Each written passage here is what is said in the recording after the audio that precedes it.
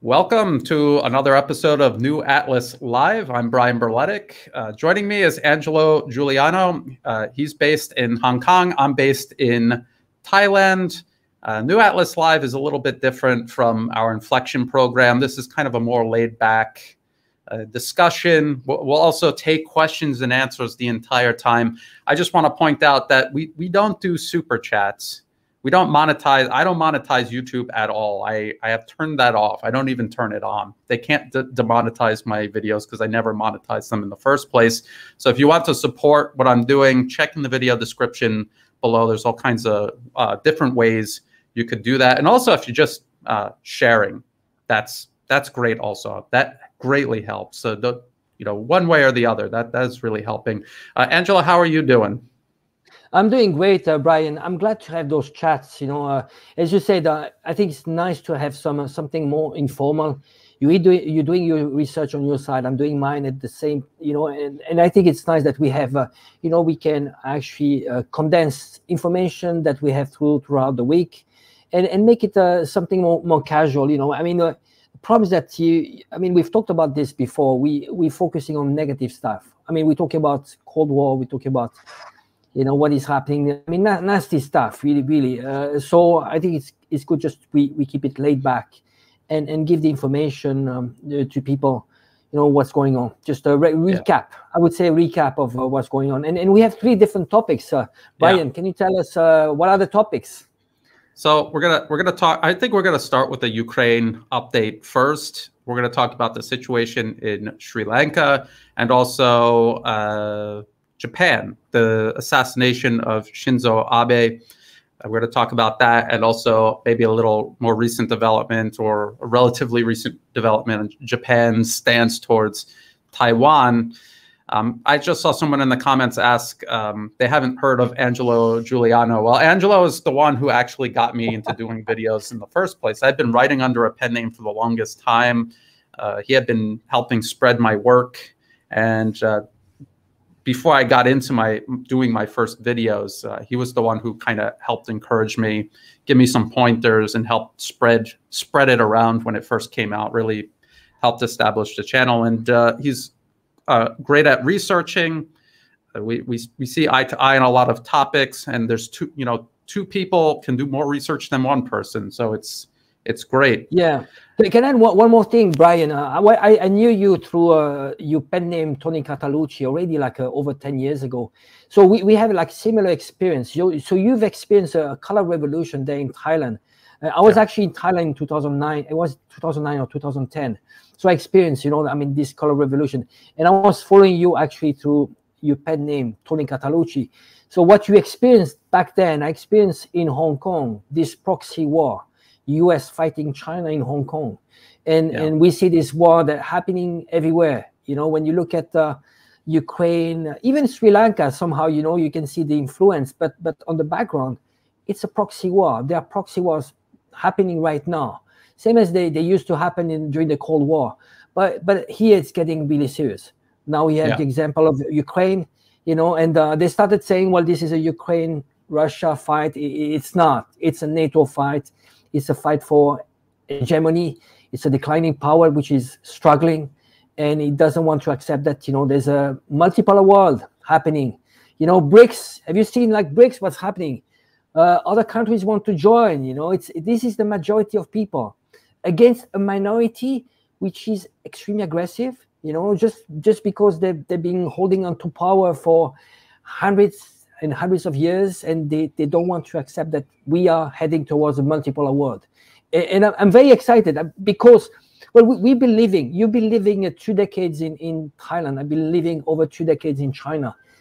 And I think, I think all responsibilities to give actually the information from all perspective. We've been living in Asia. We know how they somehow how they think. I mean, we can contribute somehow to the discussion because why are we living to this Cold War mentality?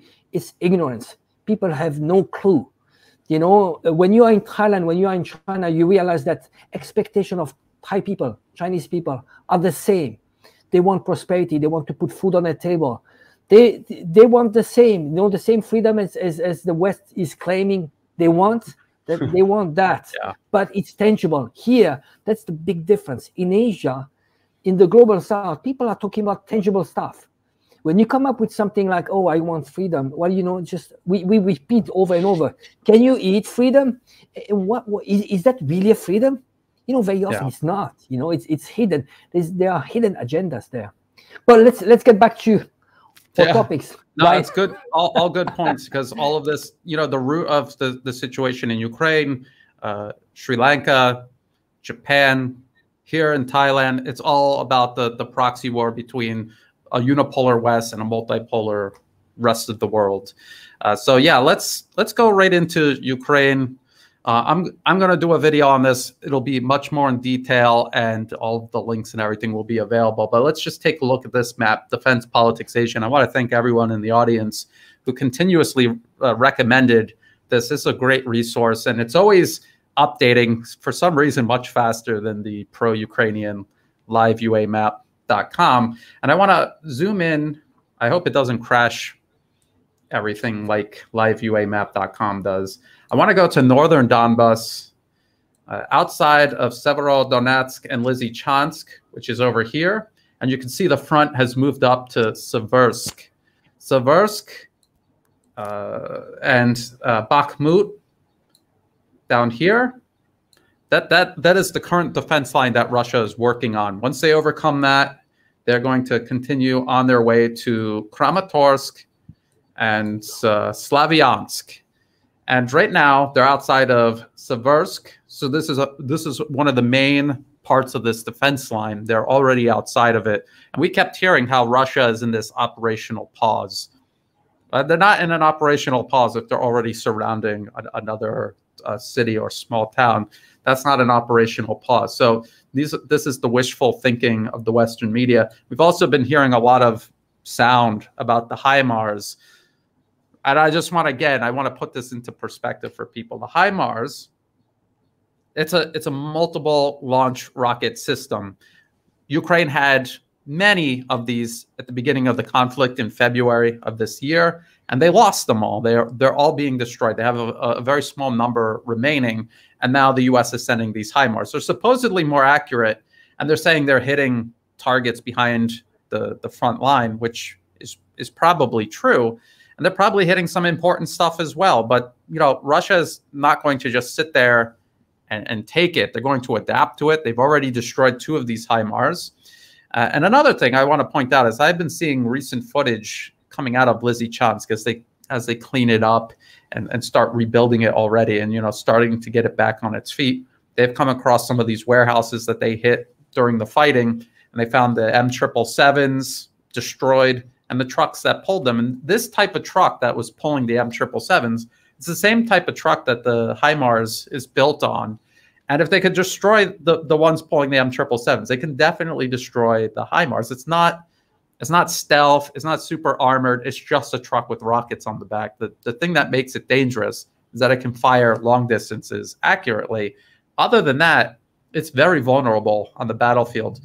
When the US uses HIMARS, they use them in a combined arms fashion. So they'll have the rocket launchers on the battlefield, but ahead of that, they'll have infantry, they'll have armor, they'll have anti tank units. They also assume that they will have uh, air superiority. Ukraine has none of these things. So they're even more vulnerable than, than they normally would be. I just want people to keep that in mind. It's not, it's not a, a moment to panic. Russia is not panicking. I, I, don't think anyone else should be panicking over these HIMARS. What have you been hearing, or, or what do you think about these HIMARS now that they're, you know, we're hearing uh, the Western media singing their praises like they did for the M triple sevens?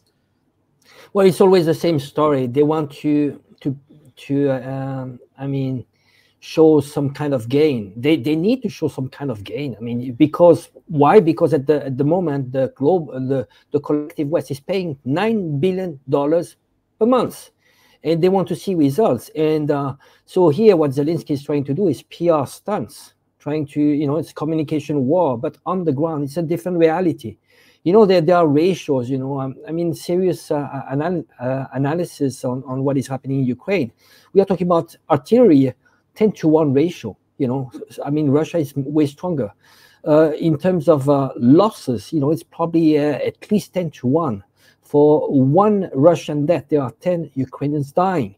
And, and, and I think there are, well, after Donbass, you have this second line, which is Slavyansk uh, Kramatorsk. Once this is gone, Ukraine is gone.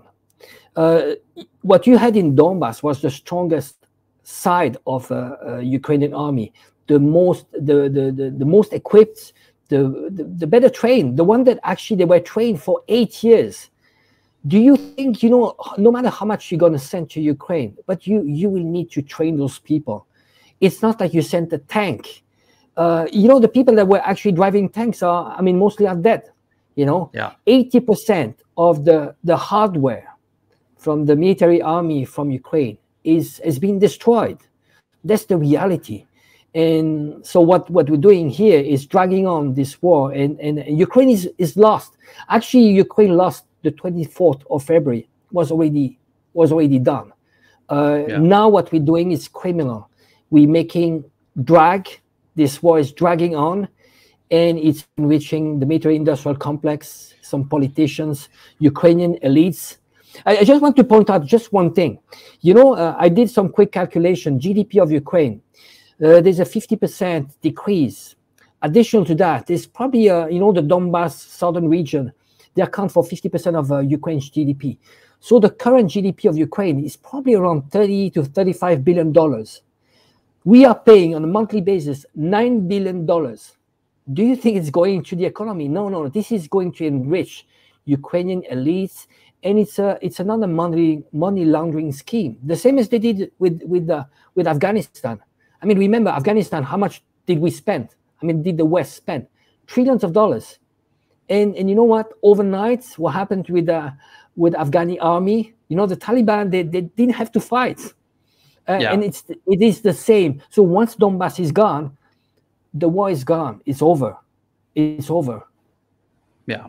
And uh, you know that that's important to remember. The the U.S. tried to create an army out of nothing in Syria, didn't work. They tried to do it in Afghanistan, didn't work in Iraq, I think it's a, a mixed bag because I think uh, most of the Iraqi military's successes on the battlefield are owed to Iran. And um, I, I, saw this question, and uh, these are not super chats; these are just good questions that I'm putting up on the screen. What do you think about Russia buying Iranian drones? I don't, I don't, I don't think that that's been confirmed. I don't think that's a real story. It, you know, Iran does make really good drones. There's no doubt about that. Um, but I don't think that Russia needs to buy them from Iran. And I think it was just, I just think it's the US doing what they were trying to do to China, also trying to rope them all in to this so that they could poison all of them with their, you know, it's like a, you know, to bring them all in so they can poison all of these countries at one time with their anti, with their Ukraine propaganda. So they don't have to tell three different lies about three different countries. They could just lie about them all together, trying to consolidate it and make it a little more efficient. Have you seen any any information that makes you think that, that that's happening, Angelo?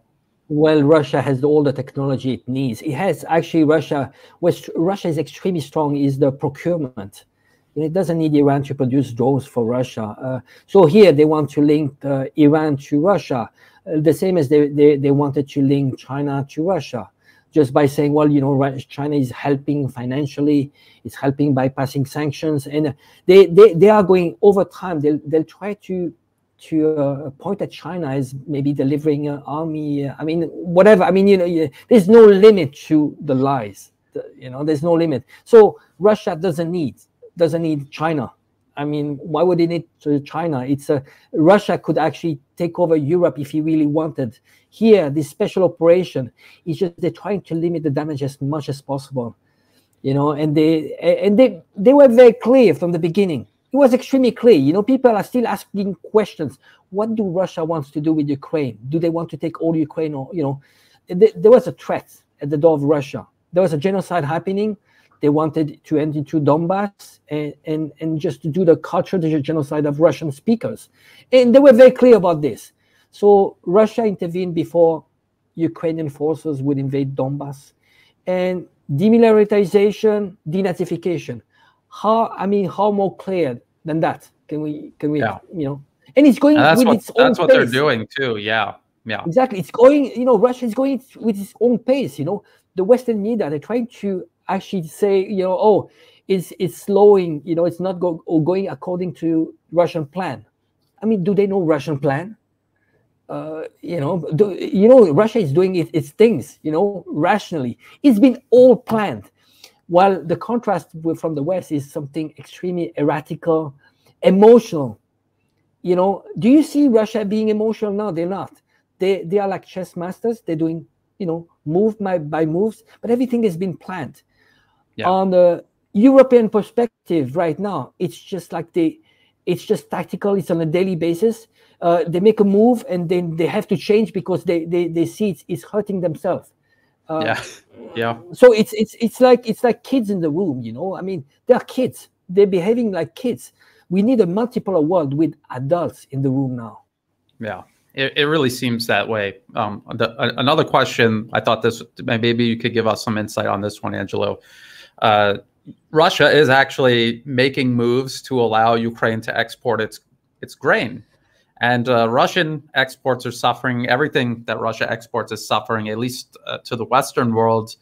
Uh, so, uh, why would they do this? Well, I think because Ukraine, the, their grain has been very oversold by the West. They tried to make this out to be a much larger crisis than it really is.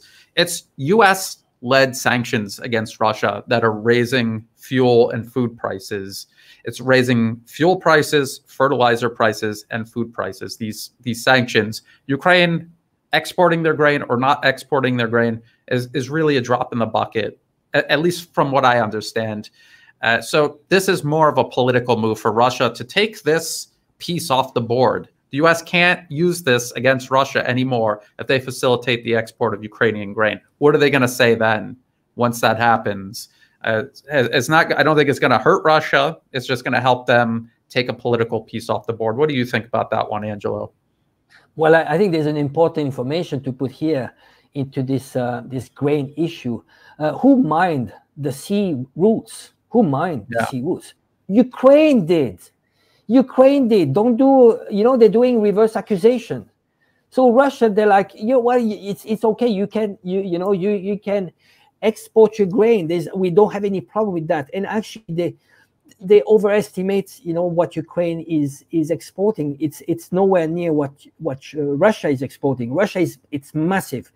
So they're just trying to depict uh, Russia as being making the the global south to suffer you know because because of uh, this grain issue. So it's it's all about mining. So russia they're like well you know we uh, let's find a solution together you know. So uh, so uh, I mean that's that's what that's what Russia is doing to get the grain out of Ukraine is circumventing exactly. the the mined ports that are still under Ukrainian control because all of the ports under Russian control have been demined and there's safe passage uh, for any ship that wants to come or go from those ports, but they cannot get into Odessa. They cannot get out of Odessa because, just like you said, they've been mined. The ports have been mined. Um, speaking of, um, let's see. I'm trying to think of a good way to go into. Well, there's a lot of there's a lot of connections between the situation in Ukraine and the situation in Sri Lanka. Uh, let's see, let's go to share screen. I, I just want to get this out of the way real quick because, yes, Russia and China are the two main adversaries for the U.S. So uh, Sri Lanka is the the you know part of the anti-China campaign. So they we've been hearing in the Western media that Sri Lanka is suffering because of Chinese debt trap diplomacy. This is DW. This is Western media. This is German state media. They're they're obviously no friends of China or Russia. Uh, but they they're admitting who Sri Lanka owes their debt to. China is just 10%. Japan is 10%. Why aren't they blaming Japan for their debt trap diplomacy? Uh, World Bank is 9. Asian Development Bank, even though it says Asian, it's mostly Western financial institutions that use it as a tool uh, to financially control uh, countries that they're preying on predatory lending. Uh, same with the IMF. Uh, so China is 10%, Asian Development Bank is 13%, and market borrowing is 47%. And this DW article even says that that's that's the main problem. This market borrowing, these uh, what are they? What are they called? Uh, these bonds. It's these bonds that uh, have been bought up, bought up by who? It says in this article, Nikkei Asia. Let me just uh, Black BlackRock, Allianz, UBS, HSBC, JP Morgan Chase, and Prudential. These are all Western financial institutions.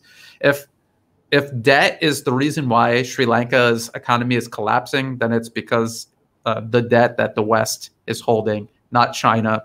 Uh, Angelo, uh, what, what are your first thoughts on this whole situation?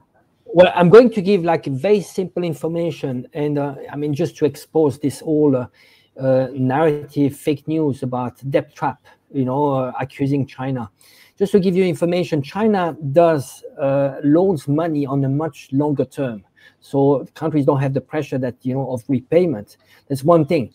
Uh, then it loans money upon uh, feasibility studies. So physical, tangible projects. It's about tangible project and the revenues tied to those projects. Additional to that, Reuters this week there was an article saying that China uh, they admitted that China actually is uh, lending money at half the rates of what Western institutions are lending. Additional to that, China is not imposing restructuring, you know, of the economy or you know reforms when it comes to politics. So China is respecting the country's sovereignty. What the IMF is doing is coming to a country and say is is going to say, well, I'm going to loan you one billion dollar, but you have to do privatization. You have to sell those assets to our friends. Uh, you have to accept NGOs, which are going to meddle to the, the politics. So it's a huge loss of sovereignty. China is different, you know, and the conditions are much better. I want to add one thing. When it comes to Sri Lanka, there's a case where China actually took over a port. So China had built a port, and uh, there was some lending, and at some point, some uh, some loans were due uh, to be paid by to the IMF, and uh, Sri Lanka didn't have the money. So they asked China, well, we are we can give you a port 100 years of lease, and if you can help us paying off the loans of the IMF. So you see, China, you know, China came out to help. You know, it was a request from Sri Lanka, and what they're trying to depict here was that the loan, original loan, uh, there was was a Chinese due, loan. Was a Chinese loan. It was not. Yeah. China yeah. helped out in this. So this whole, you know, it's this reverse accusation. China is not doing debt trap. China yeah. is not. It's not doing the mafia style racketeering because it's racketeering. So yeah. now you have this talk about BRICS uh, trying to actually challenge the IMF, the World Bank. They are going to issue the same system, but with different conditions. And you know, and and for and, and, they're going to care about the countries. It's go, you know, especially when it comes to sovereignty, and and and uh, thinking about the welfare of people. You know, when you come into the country, you know what they did to Bolivia? They go into Bolivia and they say, "Well, we are going to privatize water." Can you imagine? They there were even the water that would come. I mean, from from uh, the, the rain. They said you can uh, not amass that water. I mean, this is like it's private yeah. Uh, so this is what they do, you know, and and, and they, uh, uh, you know, they're trying to create those economies which are colonial era economies. You know, monoculture. They say you are going to, to grow only this. They yeah. make sure you are not self-sufficient, and they make sure you, you don't get industrialized economies. So when you look at this green agenda, they talk about oh you need to be green and so on. Actually, this is a way to further make sure that they don't get industrialized and they don't they don't become self-sufficient. So this, yeah. you see when you, you look at russia russia the last 10 years they did everything to become self-sufficient. This is why the sanctions are not working. Now when you have sri lanka they depend on imports. You know everything they need currencies foreign currencies. Now what happened with covid? You know there was covid. They were dependent on tourism and the, the gas prices are high oil prices are high. Well, how can you repay? How can you repay? Yeah. So no. Enslave, this is the debt trap, in enslaving those countries. And you see, I mean, China is only 10%. I mean, those are factual, you know, it's factual. Only 10%, and the lending at half the rates of what Western countries are lending. Yeah. That, that's all really important to understand. The the original and only debt trappers is the West and their IMF the World Bank, Asian Development Bank. Uh, I want to put this one up on the screen here. Please don't insult Sri Lankan Sri Lankan people saying these protests are foreign funded. Most of protest leaders are leftists. Well, in Thailand, they all claim that they're leftists too, and I know for a fact that they're funded by and working with the U.S. government and and serving U.S. interests at the expense of Thai interests. Now, uh, I just want to point this out. This is very important. Uh, this is an article originally from Reuters. I did a video on this this week. Uh, like I said, these these discussions together, uh, live discussions, kind of a roundup, and they're they're talking about if the Western media is singing the praises of protesters, you know, somewhere, uh, someone is being funded and promoted by the West. They will not promote these protests if they were working against U.S. Western interests. And so I looked in here and I saw this name right here. He's a digital strategist and he was involved, according to Reuters, in organizing these mobs. So I looked him up. This is his LinkedIn. You know, it's not. I, I am not looking at some secret leaked document. This is his, his public profile. Everyone can check it. And I was scrolling down until I saw this campaign volunteer 2019 2020 at this organization, P A F F R E L. And immediately I recognized this. This is um, the, Sh- the Sri Lankan version uh, of this organization, ANFREL, which is on their website as an international affiliate. Uh, and this, I know for a fact, is funded by the US government because this is the same organization that meddles in Thailand's elections. And it's listed on the NED's official website under Asia Regional. It's right down here Asian Network for Free Elections Foundation. Uh, so at least some of the protest leaders in Sri Lanka are funded by the US government, are backed by the US government, and are pursuing U.S. interests at the expense of Sri Lanka's interests. That's not to say, because when I was looking at the main opposition party and the, the party that is uh, being ousted from pow power, they both have cooperated with the U.S. and they've both cooperated with China. I couldn't really get a, a feeling or find any evidence that said, yes, this, this is the party they want in power. I couldn't really get that feeling. Uh, people are more than uh, more than welcome to offer any additional information. But as I'm doing my research, I found uh, people like this in the, the Reuters article, they're definitely funded by the US government. There's smaller opposition groups that are extremely anti China, which is irrational. So, why would you take an irrational stance? Because someone is is backing you to do that, either uh, certain factions in India or, or the US government or both. Uh, Angelo, have you seen any evidence of U.S. meddling in Sri Lanka and, and particularly involved in these protests? Uh, again, to a financial crisis precipitated by Western debt trapping and predatory loaning. Well, here it's a combination of uh, decades of uh, Western meddling. Uh, remember all those countries that actually they were de supposedly decolonized. Uh, what they did, they, they just left. I mean, the army left, but they left the, the seeds for division. You know, I mean, Sri Lanka, I mean, we not long ago there was a civil war. The Tamil, you know, they were funded actually by the U.S. and and you have re remains of those, uh, you know, colonial era meddling. Uh, the same as you have in Myanmar. So here you have a young democracy, and and they they actually managed to to get their hands pretty much everywhere. What they call what they call a civil society. I just want to remember, I think it's nice, it's always good just to remind people what NED, the NED, National Endowment for Democracy, stands for. You know, it's, it's just a rebranded name for the CIA. It's the propaganda arm, it's a regime change arm of the CIA. What they did, they just rename it and they say, well, this is National Endowment for Democracy. So whenever you see that funding, well, if there are politicians or NGOs being funded by NED, you know what they are? You are just agents. If you are from Myanmar or if you are from Sri Lanka and you're getting money from them, you are being an agent. You are a traitor and you're working against the interests of your own country.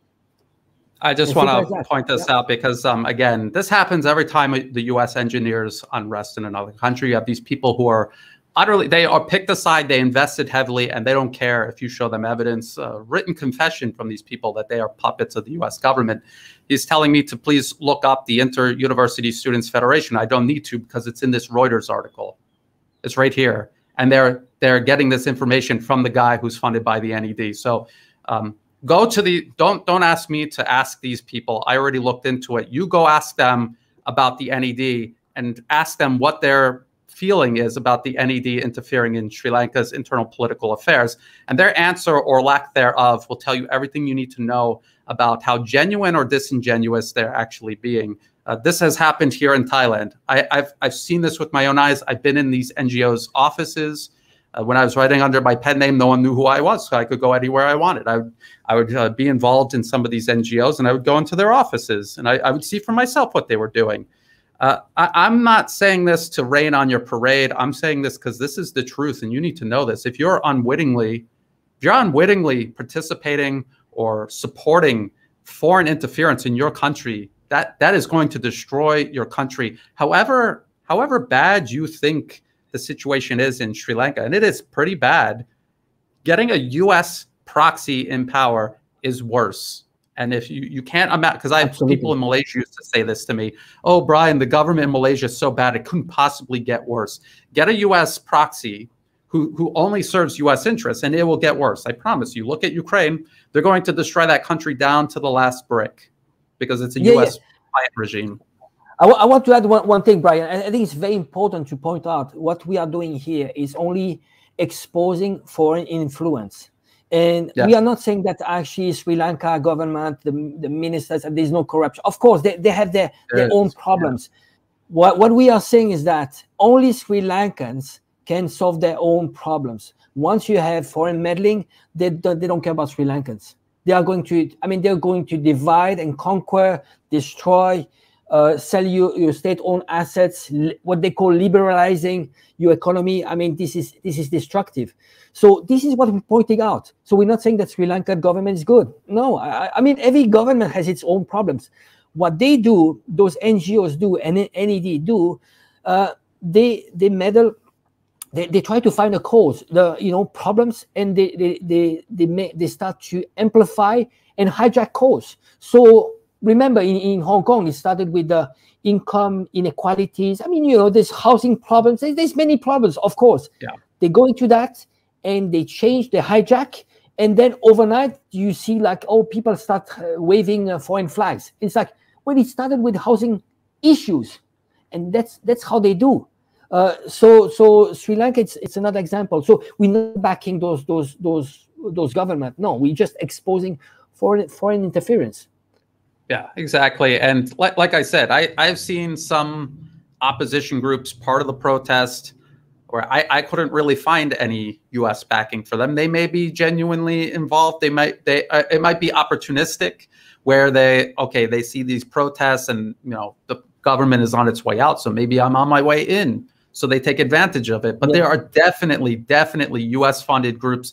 If you're going to talk about uh, student unions, the U.S. has infiltrated virtually every university on earth. There's hardly a university on earth that the U.S. hasn't infiltrated and isn't funding groups uh, yapping about democracy, and it's always Western style democracy. And all, all of this is just a way of young people are very impressionable and uh, they're very easy to impress with these slogans and these ideas because they don't know. They don't know how things actually work how difficult it is to actually do these things. And so yeah they will they will get those are always the ones in in hong kong. It was students. Students carrying out the us backed uh, interference. And here at thailand now it's students. It's a student movement. They're all brainwashed by these programs that the us has set up in there universities. Uh, Angelo, you were you were there in Hong Kong. It's mostly young people, wasn't it? No, exactly. I mean, it's easy to to sell some ideas to young people. You know, they play on generation. You know, you have a one generation brainwashed on Western ideals. You know, uh, so you know they, they grew up with with uh, Hollywood. With actually they grew up with books that were telling them a different um, different uh, history about uh, about Hong Kong the reason is that you had like foreign NGOs which had their hands into the school ed education system. And remember that actually they, they, the, uh, the UK, England planted the seeds of color revolution before the handover 1997. And later it was taken over by uh, um, uh, mainly US NGOs. And you, I mean, all, all of them were here, you know, including George Soros, yeah. You know, they they have the. I mean, we're talking about millions of dollars, and over time, you can change. You can change a generation, and it's much easier with kids. I mean, kids. You know, you yeah. you tell them. You know, people they they want to fight for a cause. They say, oh, you know what, the the the you know climate change you know you, you see those radicals okay there are problems and so on but here you need to look at the manipulation the funding and the the Yes. ulterior motives you, you know they- exactly. you know this you have this woke culture you know this woke culture oh lgtb cause oh we, you know equality minorities uh, uh, uh, we are ex-genders and so on it's like well think about it are you who planted the idea Yeah. Who's And- who's and- yeah. Yeah. No, go no, go ahead, Angelo. yeah yeah well it's, it's the divide and conquer it's this Yes. whole thing about dividing and actually it's distracting people from the real issues. Real issues is class struggle.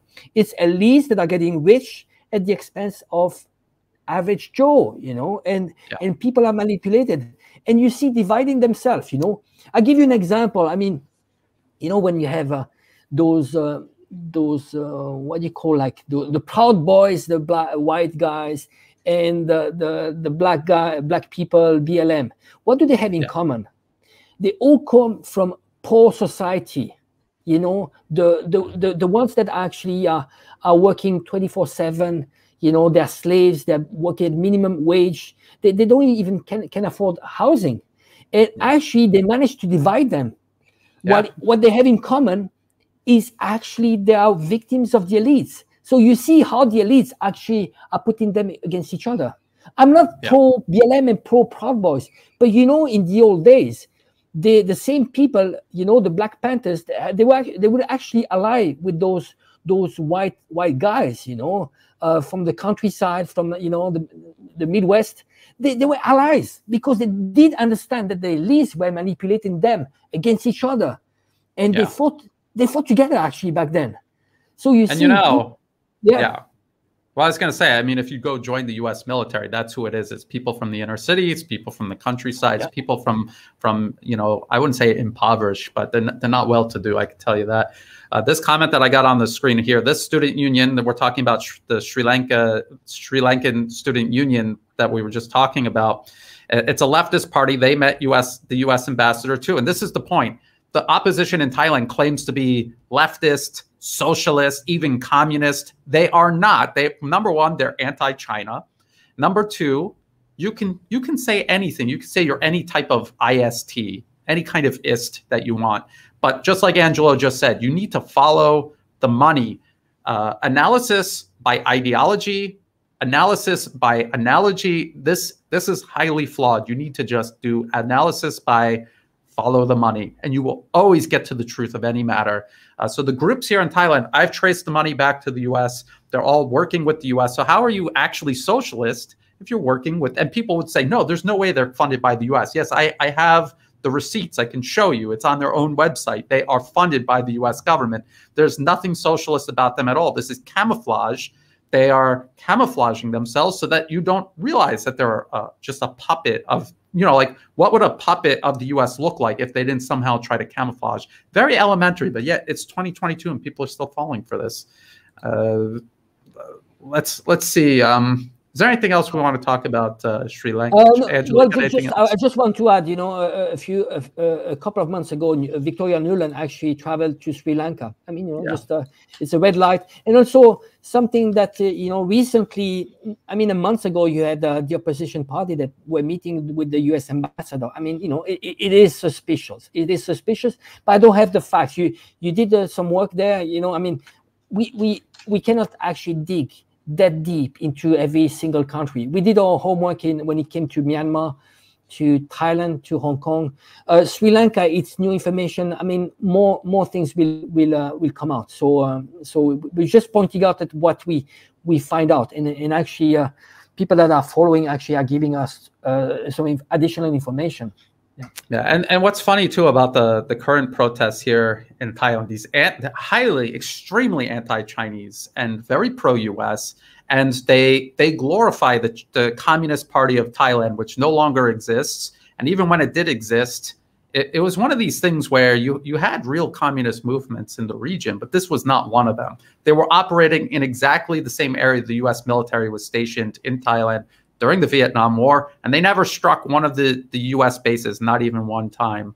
Uh, and they were fighting with the Thai uh, military, And what was this? This was like ISIS in Iraq. The US is pretending they're fighting ISIS, but actually, ISIS is this artificial threat that they created so that they could sell the necessity of a US military presence in the country easier to the Iraqi leadership. It's, it, you know, it's a threat that they created and that they're also using to justify them being there in Iraq, but also to affect Iran, Syria, and everywhere else in the region. The U.S. has been doing this for so long. Again, it, I can't believe it's 2022 and people are still falling for this. I, I honestly, uh, but not yeah. since I see people talking about um, Taiwan. Well, we're talking about Sri Lanka because uh, this is another front against China. What about Taiwan, which is actually part of China? What about the the assassination of Shinzo Abe?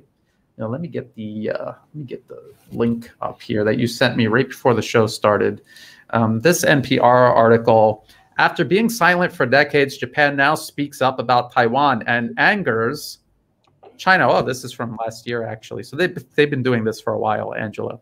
Um, what what are some of your thoughts? Now, we, we can't prove any of this. So this is just speculation. Again, New Atlas Live, this is, you know, it's more of a discussion. We might put some ideas out there just uh, just just to speculate, just to think about. Um, Angelo, what what are some of your thoughts about the assassination? Assassinations are notoriously difficult to get to the bottom of. No, I, I it, it is pure speculation. Uh, you know, uh, I mean, we are always factual. We we work on factual, but uh, it's just suspicious. A bit suspicious. Two days before before the election, uh, I remember in 2014 you had a. a uh, assassination attempt of uh, Chen Shui-bian in Taiwan, and actually we found out that it was a completely fake uh, they, uh, you know, the opposition Kuomintang, they asked, you know, some proof, and uh, the DPP, the Independence uh, Independentist Party, they actually asked for from American uh, doctors to be to be uh, sent to to check on Chen Shui-bian, but he had a, he had minor scratches. He had nothing. It's just a bit suspicious. But I, you know, I don't want to speculate too much on that. Uh, just one thing. I mean, uh, maybe we can analyze maybe Shinzo Abe and his party LDP. And actually, the link since the 50s and 60s, I sent you an article about this. The New York, New York Times article uh, in 1994 uh, is, is actually exposing the links of the, this party with the CIA. So the same as you had uh, uh right-wing parties in, uh, for example, in Italy. I mean, something that I, I know quite quite well. You know what we call Democrazia Cristiana was actually funded by the CIA. So you have all, uh, you know, you have Japan, you have uh, Italy, you have th those countries in the 50s and 60s had funding, heavy funding from the CIA. So now you have uh, uh, uh Japan, which actually in 2014 they uh, they did a reinterpretation of the constitution. You know, Japan has a pacifist constitution, meaning that they're not supposed to be aggressive, military aggressive. What they did in 2014 is to reinterpret their constitution. So what they say in this reinterpretation is that Japan could actually help come at the help of an ally. Now, when you see that, and when you see actually what happened in 2021, when you had the deputy uh, um, uh, defense minister of Japan that said, we are our responsibility is to protect Taiwan. Now you see where we're going. Additional to that, uh, LDP is actually talking about if they have a, a, a super majority, they're actually talking about rewriting, changing the constitution into having a military that actually can do power projection. So you see where we're going. Yeah. What the US needs in order to contain China is to have access to army bases in ideally in Japan and South Korea. South Korea, I don't know, but Japan is a high probability and to be able to launch attacks from there. Why?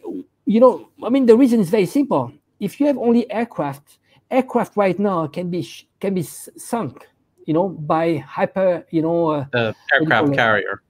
Yeah, aircraft carriers they yeah. can, can be uh, they can be sunk by by the those new missiles, uh, hypersonic missiles, right? Yeah. Uh, now the only way you can contain China is using those bases around China do a blockade and maybe launch some, you know, some attacks, you know, maybe from from Korea and Japan. But you see, I mean, this is this is a scenario where the U.S. would fight to the last Japanese. the US would fight yeah. to the last Korean. Does it sound similar? You know, familiar? You know, US is fighting Russia to the last Ukrainian.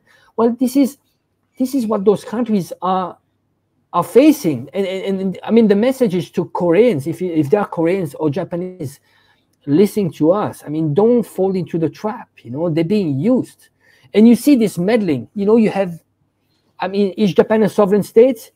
There's fifty thousand troops, U.S. troops in Japan, since World War yeah. II. Uh, now you have this funding from the 50s, 60s from the CIA. New York Times articles. I'm not spe speculating here, but de facto, Japan is a vassal state. It lost World War II, and since World War II is a vassal state, and now it is projecting itself as being the forefront on the forefront for fighting uh, a war against China on behalf of the U.S. And uh, I, I, just want to point this out to to people, and we, we were talking about this before. Also, who is who do you think Japan's largest trade partner is, and who do you who do you think benefits from Japan being belligerent towards China? Do you think J Japanese people benefit in any shape, form, or way? And the answer is obviously no. You don't even need me to show you who their their biggest trade partner is, but I, I'm going to show you anyway. And even though that says 20, you got to remember you have to add in Hong Kong, China and Hong Kong, and also Taiwan because it's all China. And, and then they are obviously the largest export market for Japan. And then when you do imports, China wins easily. And this is what was going on with Ukraine. Before 2014, they had a, a, very important relationship with Russia. They were also cultivating a relationship with the West. They had the best of both worlds. And then the 2014 US engineered coup undid all of that. They they completely sabotaged their relationship with Russia, not just diplomatically, but also economically. Their economy began collapsing. Thailand actually had a tank deal with Ukraine before 2014, and then it could the, the tanks couldn't be delivered, so Thailand turned to China for their main battle tanks uh, instead of Ukraine, and that was because Ukraine went and shot themselves in the foot because of a U.S. installed client regime. And they're doing the same thing in Japan. Japan does not have an independent foreign policy. Like you said, Angelo, there's tens of thousands of US troops in Japan to ensure that they don't have an independent. How can you have an independent foreign policy when you have a foreign military with tens of thousands of troops in your country? Who, who asked for them to be there? The Japanese people didn't. You could say, well, World War II, that was that was uh, that was generation that was a generation at least ago. You know, what about now? Why are they still there? They're there to contain China.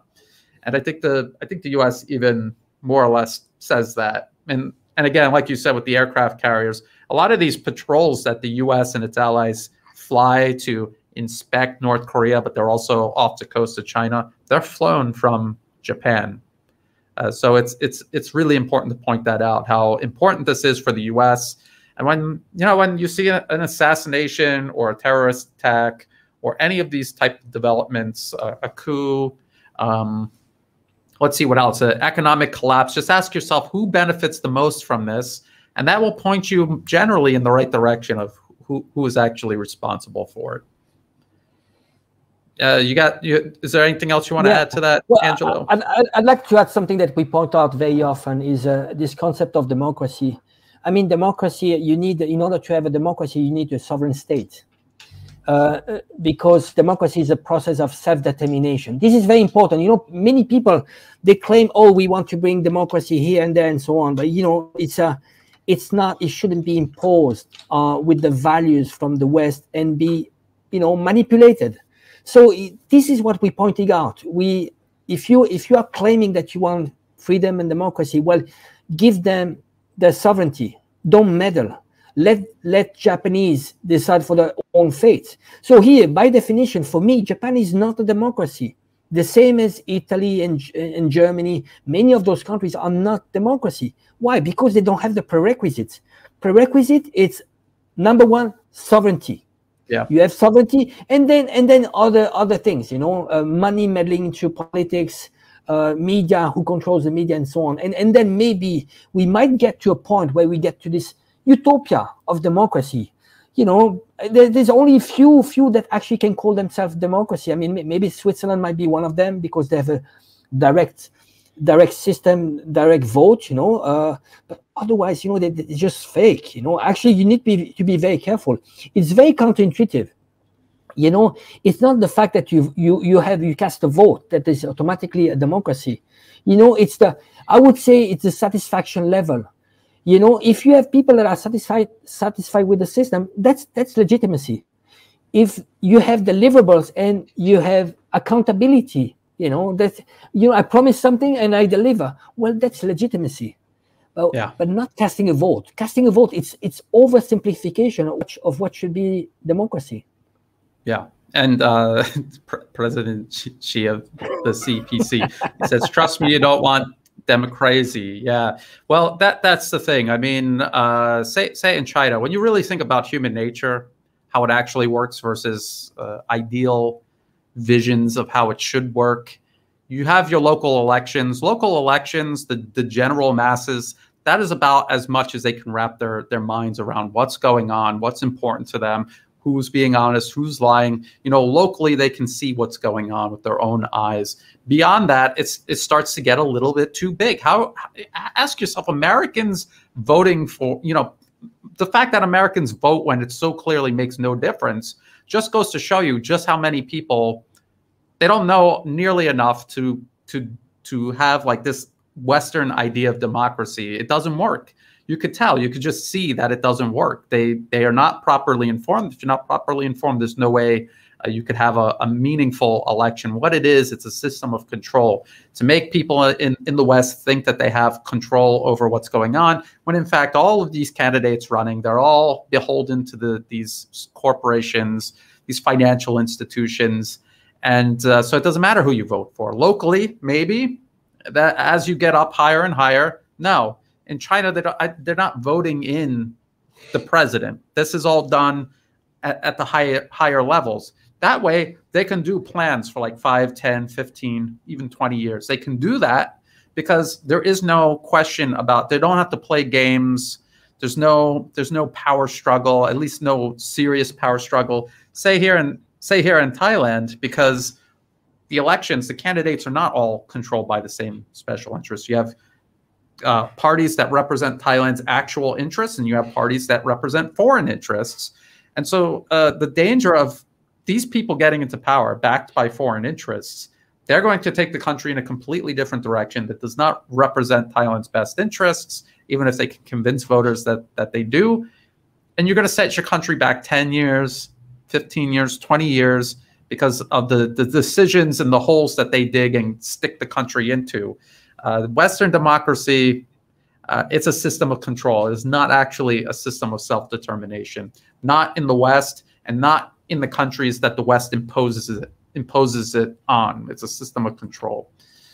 Uh, we we've talked about this a lot, Angelo, in uh, previous yeah. videos. I'm trying to look through for other. I, I was thinking, Brian, do you have any recommendation? I think would be nice to you know like recommendation channels that we we like, you know, that we want to talk about. You know, I, I mean, there's a few. I mean, there's very inspiring channel. I, I like very much that. I mean, like you, the Duran, the boat, uh, Alexander, Alex. You know, yeah. I mean, if you have like recommendation, I think this this you know it's it's extre- it's very nice for us. We get inspiration, information from other channels, and it's nice. We you know it's um it's this movement of people creating content. People are not satisfied about mainstream media and realizing well you know maybe there's a contribution to bring in you know? I mean we started you started this channel a year ago and uh, it's, it's a great satisfaction to see you know like the, the support people people watching you know and, and this whole sharing that we, we're not alone. And, and uh, do you have any any channels you'd, you'd like to recommend? I mean i, I like scott Ritter. there's there's some amazing people out there really that uh, we'd love to recommend. Yeah um, well i was just right before uh, we, we went live, I was watching Ben Norton, his his uh, take on Sri Lanka's debt, and he he's got a lot of extra information. And again, it's all from the Western media themselves saying it's not Chinese debt trap. It's it's the IMF. The IMF did this, uh, however way they want to spin it. But all all of the debt is the IMF and the institutions that control it, and other Western you know financial schemes. Uh, he he's a very good source. And look, you don't have to agree with everything somebody says to consider them a good source. People are allowed to disagree.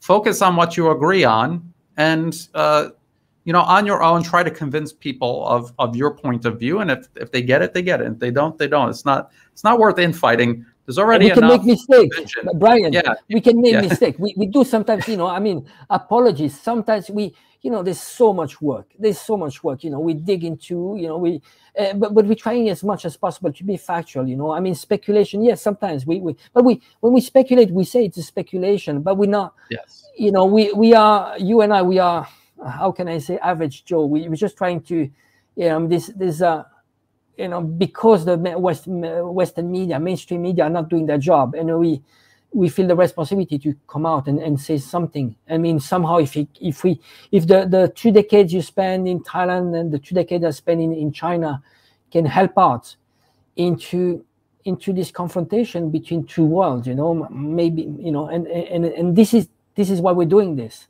Um Yeah. so apologies if we sometimes we are we, we might you know we're not expert in, in everything Yeah. Um, I see people talking about uh, Jackson Hinkle. Yeah, he's he's good. Apparently, he's so good that YouTube wants him he's off, young so- he's young Yeah, you told me he's, how old is he how old is Like, he I Uh, think he like, said he's like uh, 20s, like early 20s or it's something like that. amazing That's crazy. that's yeah. amazing really I wish I had it figured out more Uh, or there's less. Earl Grey from out of from Moscow. There's a Fre- good French one, you know. Actually, uh, Stratpol, you know, it's in French. It's amazing, Yeah. like re- really good follow up on Ukraine. I mean, there- there's lots of great guys. You know, Grey Zone, of course. I mean, they're fantastic. You know, uh, Yeah. Max Blumenthal. I mean, there's, you know, there's plenty of channels. You know, and, and we get inspiration from them too. Really. Yeah, and if you you follow uh, a lot of these people like the Duran, they get a lot of interesting people on their show too, and then you Yeah. could start following their work. And again, you don't you don't have to agree with everything, but there's good points that people will make. Even people that you absolutely hate, you should listen to them with an open mind because they might say something by accident that might might be useful. You know, just Yeah, you- I, you know, you- it's not a it doesn't have to be zero sum all the time uh, even though there are some people that i you know there's a lot of things that i don't you know i don't you know i don't like about somebody but uh, you know yeah, I, I would say, you know, enough division as Yeah. it is Can I give you just a few examples? You know, I mean, you know, like you know, like how people they want to put people into boxes. You know, I know. I mean, uh, for example, Tucker Carlson. I mean, Tucker Carlson is, you know, uh, you know, sometimes it can be wrong on some topics. It can be anti-Chinese and so on. But you know what? Right now, on Ukraine is one of the very few mainstream media that is actually telling the truth about Ukraine. So why don't we set aside, okay, what he's saying about China, you don't like it, but listen to what he's saying about Ukraine.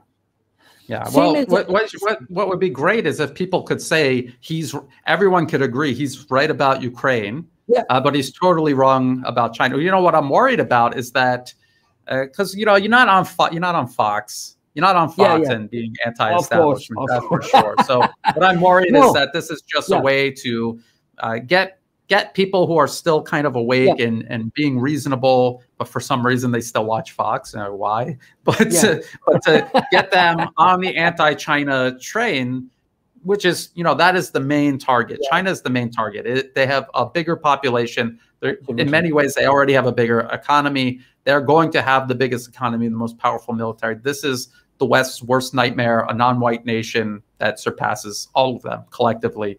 Uh, this is their worst nightmare and they will do anything to stop it. And uh, i'm just worried that uh, you know at the end of the day if you're you're anti-china you know why? Ask yourself why. I have a lot of new subscribers. I, I say this often. It's a problem. I have a lot of new subscribers that come from my ukrainian coverage and they say i agree with you on ukraine but you're totally wrong about china. Well I, all of my analysis that i do uh, regarding ukraine is all based on everything that i've worked out living here in asia which includes my analysis of china i've been to china and these people who are extremely anti-china ask yourself have you been to china what do you actually know about china who's telling you all of these things about China that you don't like? Is it the same people that are telling you stuff about Ukraine you know is a lie? And why are you picking and choosing this about China to believe when you know they're lying to you about Ukraine or Iraq or uh, Syria, Yeah. Afghanistan, all of these other places?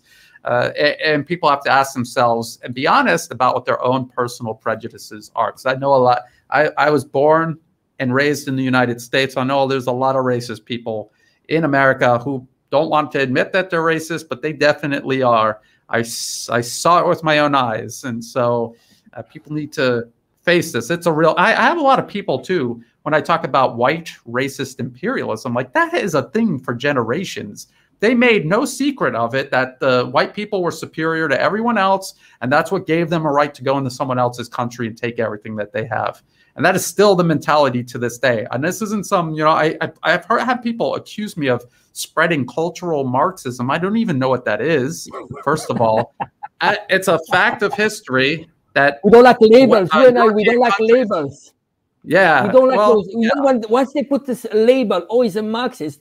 Uh, you know, it's like you know, we are not boxes. You know, we are more complex than that. Come on, get out, get out of this boxes thing. You know, or Marxist, and you need to stick to that. No, no, it's not like yeah. that. But can some... I point out just one thing? You know, like yeah. just when it comes to Russia and China, you're right. When it comes to uh, a good example is Tucker Carlson, Mearsheimer. Actually, ultimately, they are anti-Chinese. What happens is that some of them, uh, you have the Democrats, they're more like, oh, you know what? There's uh, anti-Russia and anti-China. While you have sometimes, you know, like the conservatives, they, they you know, they they'd rather have actually Russia on their side, not to hit too much on China, on Russia, so you can actually focus on China. But you see, ultimately, the end is China. It's whether oh you fight Russia and China simultaneously, or you you you know, or you you focus only on China. Ultimately, this is this is what they do. So this is why you know when you look at Mearsheimer, Mearsheimer is really good on Ukraine. He's absolutely right. But you know what? Yeah. What is his purpose here? Is that he knows that for the collective West, it would be much better to have Russia on the side of the West and then fight China yeah. That's how they see it. That's how they yeah. see it. Because yeah. the ultimate peace is China. Russia, Russia, of course, it's strong. It's an obstacle to the globalist agenda. But the ultimate peace is China. And it's been like this. I remember you mentioned, you know, like uh, the Pentagon paper in the 60s. I mean, in the 60s, the US was already plan planning an encirclement of China already in the 60s. Nothing new. Yes, absolutely. Well, uh, we're at the one hour mark. I see a lot of really great questions. I, you know, um, maybe what we got to do next time, Angelo, is just kind of reserve the last 15 or maybe yeah. even yeah 15 minutes i guess the last 15 minutes just just to questions even though i will if i see a really good relevant question while we're talking about something i'll throw that up on the the screen also. Uh, thank you, Angelo, for taking time to join us today. I greatly appreciate it. Thank you, everyone who has tuned in. Again, check the video description for where you can find my work and Angelo's work, especially elsewhere off of YouTube in case my channel gets deleted. All of my videos are automatically backed up to Odysee and Rumble. And if I ever disappear off of YouTube, I will be uploading straight to those platforms. I'm also on Telegram because I've been deleted off of uh, Twitter and Facebook. so go to Telegram. I update that a couple of times a day. So I usually do three videos a week. But in between, every single day, I update Telegram. Angelo, you're putting out a lot of comment uh, content. You're on Twitter. You have a YouTube channel. You've been putting out videos there. Uh, so uh, please check, and I'll I'll I'll pin this in the comment. Uh, you know, I'll pin a comment in the comment section after this is done, uh, so people can follow follow uh, Angelo's work and my own work off of YouTube. Uh, very important to have backups because uh, uh, Jackson Hinkle, I, I don't know what his status is, but he's either off of YouTube or very close. Um, uh, Alex from the Duran also has been banned for a week, but who knows? It could could end up permanent. So we, we all got to be careful and we got to find alternatives. Uh, again, thank you, everyone. And until next time, bye for now.